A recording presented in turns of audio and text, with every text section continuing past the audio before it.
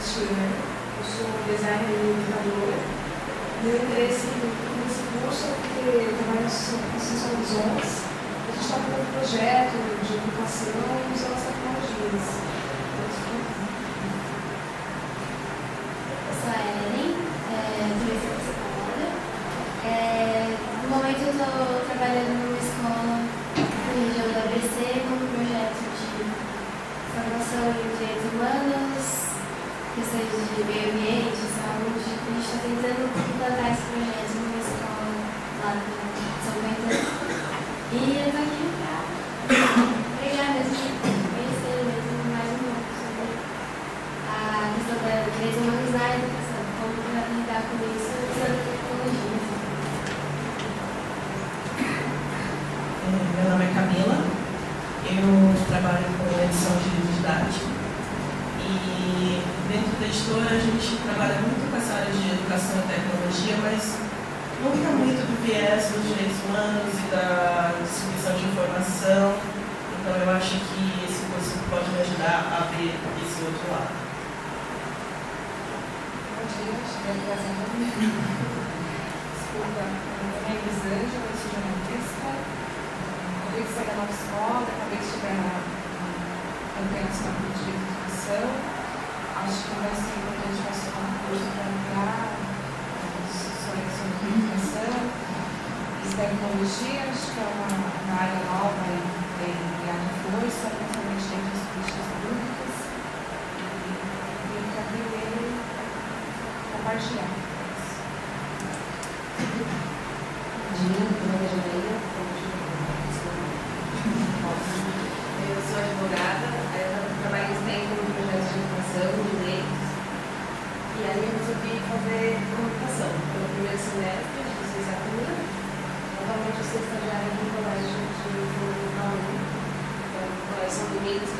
é o que eu não escrevo. É isso que eu tenho para aprender mais. Bom dia, meu nome é Gabriel, eu trabalho com ensino educativa, eu sou professor de educação. Eu, programa de diversidade, faço participação com planos de educação. E a minha, meu interesse é tentar aprender mais sobre como a tecnologia pode contribuir para de educação sistemas. Assim.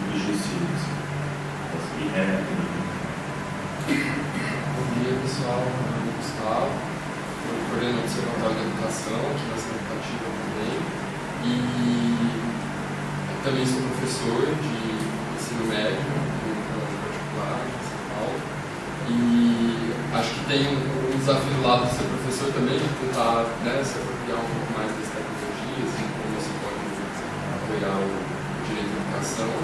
E acho que é um grande desafio, como eu tinha falado ali, que a gente sente no dia a dia conforme a gente está tocando, inclusive, o nosso projeto, a construção do curso. Mas a gente está animado, sentindo uma energia muito boa, muito bacana, muito. Bom dia, meu nome é Stabilize, eu sou assessora de educação educativa, trabalho no projeto chama uma unidade de chamação na justiça, trabalho com exigibilidade do direito à educação. Vou conversar um pouco com vocês é, hoje. Além de trabalhar com educação educativa, eu sou, quer dizer, também no trabalho com educação educativa, eu sou advogada. Eu tenho uma colega, pelo menos uma na história, também sou professora. E eu acho que as tecnologias, elas provocam né, o direito à educação. E o direito à educação também tem várias questões para colocar no como deve ser feito o uso das tecnologias. Que é um pouco sobre isso que a gente vai conversar hoje. Tá bom? Bom dia, eu sou Michelle Prazeres, sou jornalista, professora, também pesquisadora dessa área de educação e tecnologias. Sou prata da casa, né? Trabalhei aqui na ação educativa durante quase 10 anos na área de comunicação, em alguns programas. E é um prazer estar aqui com vocês. Eu espero poder contribuir hoje com a discussão e continuar contribuindo ao longo do curso. Obrigada já, a Denise a Gustavo. Bom dia a todos, meu nome é Célio, sou voluntário dos projetos Wikimedia e de outros projetos de conhecimento aberto já há um tempo, uns 10 três anos.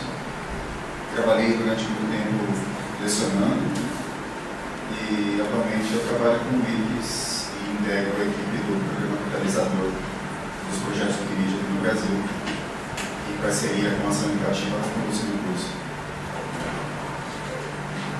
Bom dia, meu nome é Janine, eu trabalho há alguns anos, sou pedagoga, trabalho há alguns anos em projetos e programas relacionados à garantia de educação, passei pelo MEC, passei pelo Unesco, hoje estou no Instituto do Banco, que não é banco, e eu estou aqui porque sempre quando a gente fala em garantia de educação, não só no contexto que a gente vive no contribuidor de crescimento das dimensões do Brasil, necessariamente a gente falar sobre o uso das tecnologias. Então, estou aqui um pouco para ver como é que anda essa discussão e discutir com todo mundo.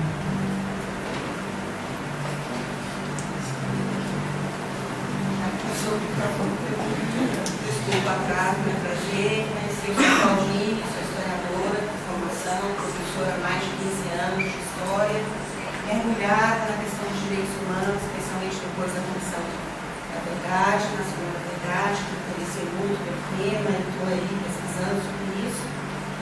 E tem tudo a ver, né? Direitos humanos, educação, tecnologias, a gente não pode fugir dessas realidades também.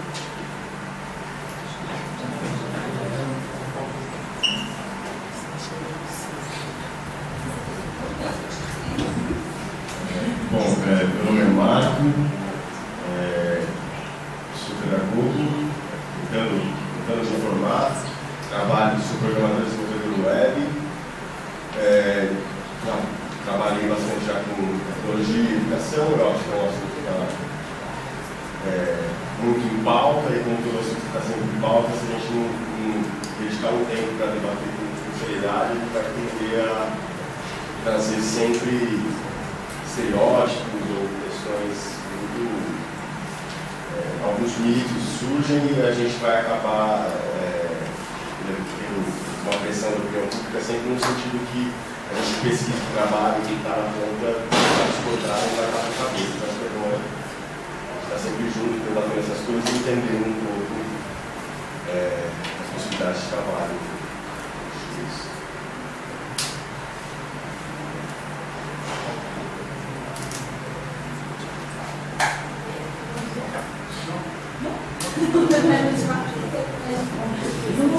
Fica à vontade. É, eu falei, inclusive, para você essa você se apresentou? Eu estou aqui trabalhando nesse projeto, muito feliz, especificamente para esse curso. É, enfim, no mestrado eu fui orientada pela Maria Clara, que tem uma longa relação com a ação educativa. Eu sou professora da Casa Vermelha com a Michelle Pastel, também tem muita relação com a ação educativa. Estou muito feliz de estar aqui nessa construção. Eu comecei a trabalhar com tecnologia sendo professora da educação de jovens e adultos. E, enfim, depois, a partir dessa experiência na EJA, eu me envolvi muito nesse campo. Comecei a pesquisar e a lidar com recursos educacionais abertos. Sou uma ativista nesse campo também. Muito feliz estar aqui com vocês. E antes da gente começar, só apresentar um pouco para vocês a rotina do dia. Depois vocês vão conhecer melhor essa plataforma. À tarde a gente tem bastante tempo reservado para isso. Mas agora aqui, depois das nossas apresentações, a gente vai ouvir a Esther falar para a gente sobre direito à humana educação. Depois a gente tem um breve intervalo. A Michelle fala sobre educação e tecnologias. O Agno vai fazer uma síntese das falas com algumas e algumas questões que ele gostaria de trazer também. E a nossa intenção é que a cada exposição vocês já possam fazer perguntas e a gente tente, de fato, criar um clima de bastante diálogo nesse momento. Apesar da manhã ser mais destinada a algo expositivo mesmo, né? E aí à tarde a gente vai experimentar, vai para os computadores, vai entender um pouco do que são os projetos Wikimedia e do que essa plataforma da universidade, que vai ser muito útil aqui no nosso curso, a gente espera que também seja muito útil nas práticas futuras de vocês. Então agora, por favor, Esther, é.